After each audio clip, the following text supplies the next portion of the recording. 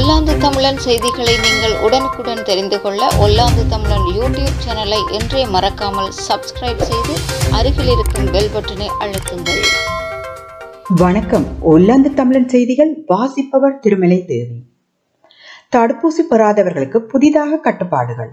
German தலைநகர் திட்டம். German தலைநகர் பெர்லினில் தடுப்பூசி பெறாதவர்களுக்கு புதிதாக கட்டுப்பாடுகளை விதிக்க திட்டமிடப்பட்டு வருகிறது.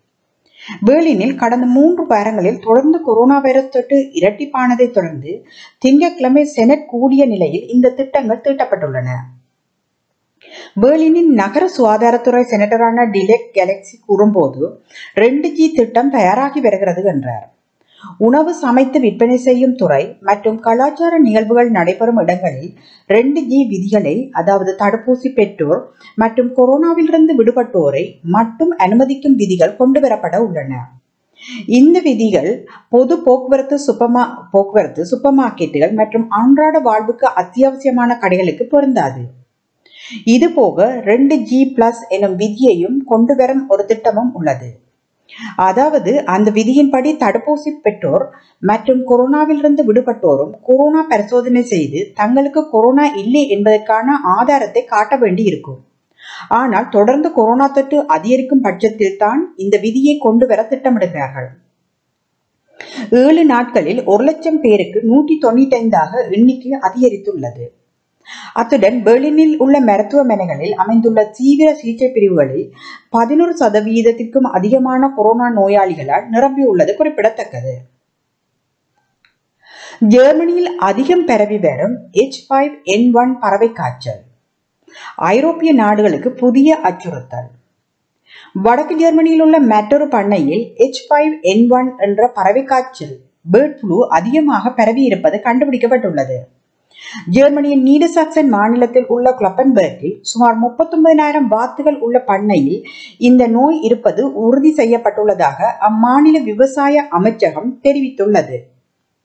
மேலும் இந்த பண்ணையில் இருக்கும் அனைத்து பறவைகளும் கொல்லப்படும் எனவும் தெரிவிக்கப்பட்டுள்ளது. இதுபோல் ஜெர்மனியில் பல இடங்களில் இந்த பறவை காய்ச்சல் பரவி வருவதாக அறிவிக்கப்பட்டுள்ளது. எச் ஃபைவ் என் ஒன் பறவை காய்ச்சல் பெரும்பாலும் கட் காட்டு பறவைகள் மூலம் ஒரு நாட்டிலிருந்து மற்றொரு நாட்டிற்கு கொண்டு செல்லப்படுகிறது. இந்த பறவை காய்ச்சல் இப்போது ஐரோப்பாவில் வேகமாக பரவி வருகிறது. இதனால் பல ஐரோப்பிய நாடுகளில் பல்லாயிரக்கணக்கான பறவைகள் அழிக்கப்படுவதற்கும் சர்வதேசம் வர்த்தக கட்டுப்பாடுகள் விதிக்கப்பட வழிவகுக்கும் என்பதாலும் பறவை வளர்ப்பு தொழிலில் பாரிய பிரச்சனை எழும்பியுள்ளது.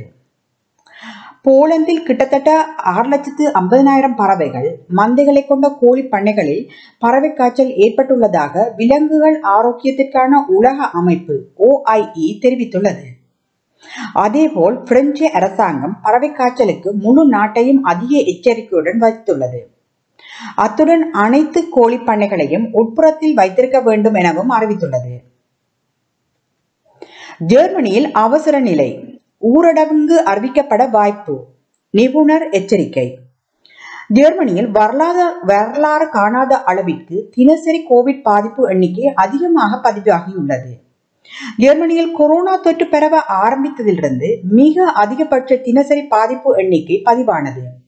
ஜெர்மனியின் தேசிய நோய் கட்டுப்பாட்டு மையமான ராபர்ட் கோச் நிறுவனம் ஆர்கேஐ அளித்த தகவலின்படி கடந்த வெள்ளிக்கிழமைக்கு முன்னதாக முப்பத்தேழாயிரத்தி நூற்றி இருபது பேர் புதிதாக கோவிட் பத்தொன்பது தொற்றுக்கு பாதிக்கப்பட்டுள்ளார்கள்.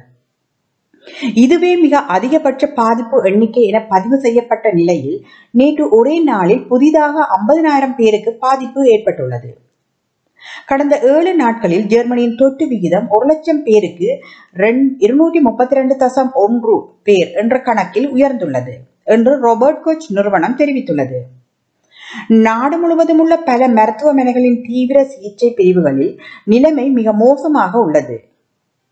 பல மருத்துவமனைகள் சமீப நாட்களில் மீண்டும் தங்கள் அதிகபட்ச வரம்பின் எல்லையில் வேலை செய்வதாகவும் அவசர சிகிச்சை பிரிவுகளில் கோவிட் பத்தொன்பது நோயாளிகள் நிரம்பியுள்ளதாகவும் தற்போது புதிய நோயாளிகளை அனுமதிக்க இயலாமல் உள்ளது என்றும் அவர்கள் தெரிவித்தார்கள். இந்நிலையில் இது குறித்து பேசிய பெர்லின் சரட்டி மருத்துவமனையின் வைரலஜி தலைவர் கிறிஸ்டியான் ட்ராஸ்டன் நமக்கு இப்போது உண்மையான அவசர நிலை ஏற்பட்டுள்ளது. நாம் இப்போதே முக்கிய கவனம் எடுக்க வேண்டும் என்றும் கூறினார். அதன்படி நாட்டில் தடுப்பூசிகள் போடுவதை விரைவாக முடுக்கிவிடப்படாவிட்டால் மற்றொரு பொது முடக்கம் தேவைப்படும் என்று அவர் மேலும் எச்சரித்துள்ளார். ஆனால் ஊரடங்கை அமுல்படுத்த விரும்பவில்லை என்று அரசு அதிகாரிகள் கூறி வரும் நிலையில் அதற்கு பதிலாக தடுப்பூசி போடுமாறு பொதுமக்களுக்கு வேண்டுகோள் விடுக்கின்றார்கள். நன்றி வணக்கம். உங்கள் வீட்டுக்கு தேவையான தரமான அனைத்து மளிகை பொருட்கள் மலிவு விலையில் பெற்றுக்கொள்ள இலங்கையிலிருந்து இறக்குமதி செய்யப்பட்ட பசுமையான மரக்கறி வகைகள் கடல் உணவுப் பொருட்கள் அழகு சாதன பொருட்கள் நாணய பரிவர்த்தனை அலைபேசி அட்டைகள் அலைபேசி மறு ஊட்டம் அனைத்தையும் ஒரு குறையின் கீழ் பெற்றுக்கொள்ள நீங்கள் நாட வேண்டிய ஸ்தாபனம். ஆசியா சமுத்திரம் ஆசியா சிட்ட சூப்பர் மார்க்ஸ் பாக் ஆஃப் ஸ்ராச நூற்றி ஒன்று நாலு ஒன்று எட்டு மூன்று ஆறு குக்குல் ஓபன் ஜெர்மனி. தொலைபேசி பூஜ்ஜியம் பூஜ்ஜியம் நாலு ஒன்பது ரெண்டு நாலு ரெண்டு மூன்று நாலு நாலு ஆறு ஒன்பது பூஜ்ஜியம் பூஜ்ஜியம் ஏழு. தொலைநகல் பூஜ்ஜியம் பூஜ்ஜியம் நாலு ஒன்பது ரெண்டு நாலு ரெண்டு மூன்று நாலு நாலு ஆறு ஒன்பது பூஜ்ஜியம் பூஜ்ஜியம் நாலு. உரிமையாளர் ராசையா ரகுநாதன். இயற்கையின் உறைவிடம் இல்லத்தரிசிகளும் பெருமை கொள்ளும் புகழுடம் அனைத்து மளிகை பொருட்கள் மற்றும் உடன் மரக்கறி வகைகள். மீன் வகைகள் இலங்கை இந்தியாவில் இருந்து இறக்குமதி செய்யப்பட்ட பொருட்கள் தொலைபேசி அட்டைகள் என பல்வேறு விதமான பல்வேறு வகையான பொருட்களையும் ஒரே இடத்தில் கொள்வனவு செய்து கொள்ள நாட வேண்டிய இடம். பியூட் சூப்பர் ரிவானோ வென் ஒஸ்டட் ஸ்டார்ட் நாலு ஏ. ஆறு ஒன்று மூன்று ஏழு டிஎன் சிட்டாட் நெதர்லாந்து தொலைபேசி இலக்கம் பூஜ்ஜியம் நாலு ஆறு நாலு அஞ்சு ஒன்று அஞ்சு ஆறு ஒன்பது ஒன்று.